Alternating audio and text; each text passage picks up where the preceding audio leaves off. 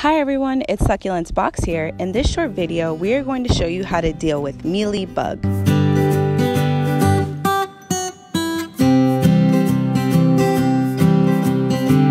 First, use a high pressure shower head to rinse off all the bugs. Then, prepare a bug killing mixture.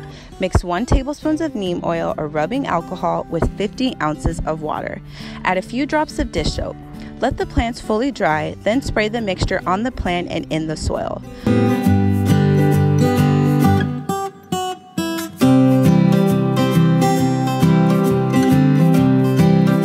Both the neem oil and rubbing alcohol do not do well under the sun, so make sure to avoid sunlight for a few hours.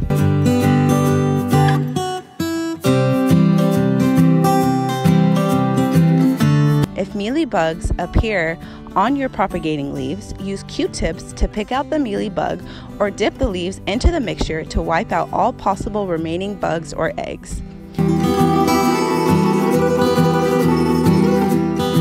Repeat the same process every three days for at least two more times. Then inspect your plants regularly for a few more weeks to make sure the bugs do not come back. That's it for today. Happy planting. See you in the next video.